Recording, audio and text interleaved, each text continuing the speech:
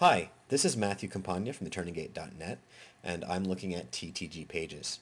If you're already using TTG Pages, then you probably know that the web engine puts out a home page, about page, contact page, and gallery index. Uh, and the purpose of the engine is to create the general architecture for your website. Uh, it's to create the framework in which your image galleries are going to live.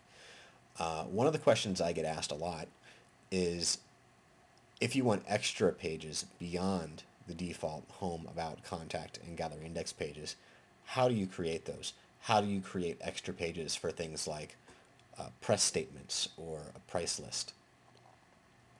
So what I'm going to show you how to do in this tutorial is leverage TTG pages to create those additional pages.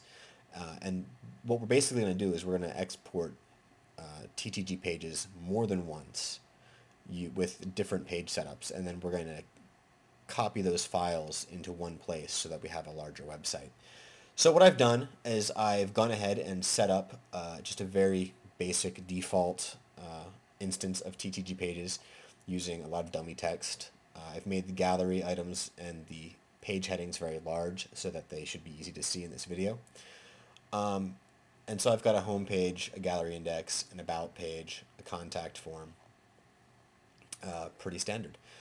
So the next thing I'm going to do is, because I know that I want to add a press page and a pricing page, I'm going to scroll down uh, in the site info control pane to find the menu items, and I'm going to turn on menu items 3 and 4.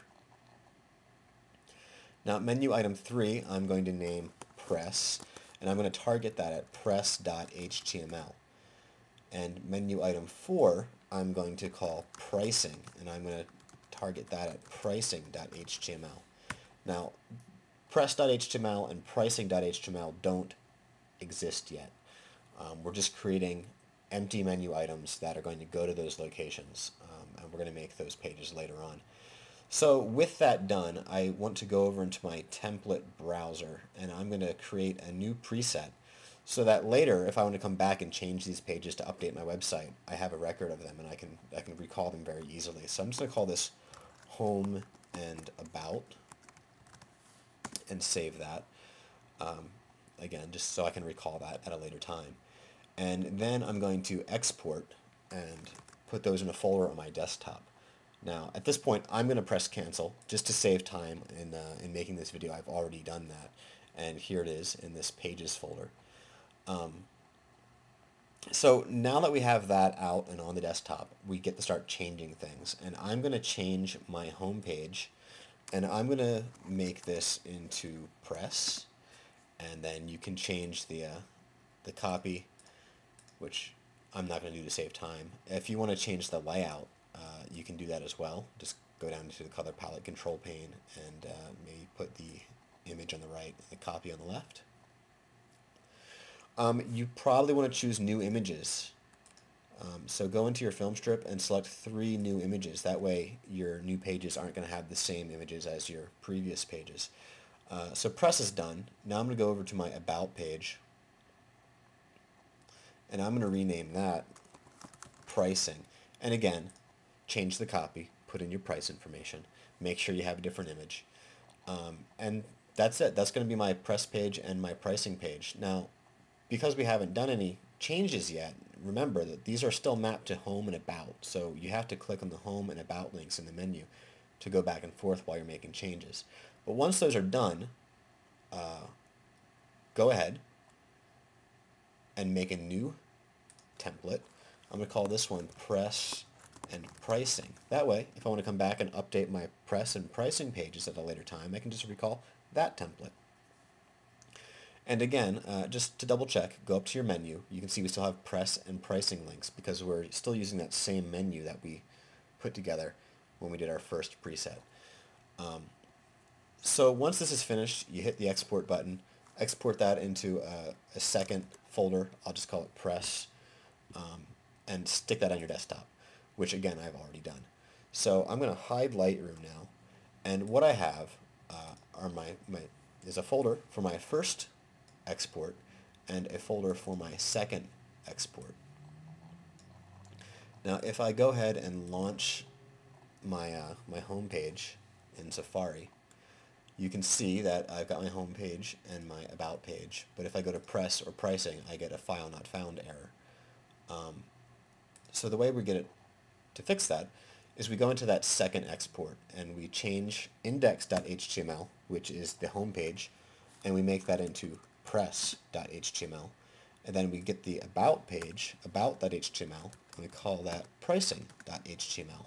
Then copy these two files into that first export folder. Um, and then uh, we also want to open up the photos folders in both and make sure we copy those images. That way those new pages will be, still be able to, to use those. So we're finished with the, uh, the press folder. We can go back over into the pages folder and once again take a look at our website. So when we click on these items now we have a press page, a pricing page, an about page, a home page, contact form, and a gallery index. Um, and if you want to repeat this process again to add yet more pages, you can do that. You can do this two times, three times, four times to get as many pages as you want. Um, and again, just make sure you save that template preset for each so that you have records of those pages that you can go back and you can modify at a later time if you want to update those pages on your website. Now, please keep in mind uh, that this technique will only work for the home page and about page. Uh, you can make multiple contact pages if you want, although I don't know why you would want to do that. Um, you cannot make duplicate gallery indexes this way. Um, that's just its own thing. It has its own rules. And if you want to have more than one gallery index, you're going to need to use TTG Auto Index, which is a separate web engine. Um, and also if you are embedding flash galleries, on your pages uh, using the stage options in TTG pages. On your home page and about page, that's no problem. On any additional pages that you create, uh, you may have to open those files up in a text editor, locate any references to the folders and change the names, change the target locations so that you have different folders for each page.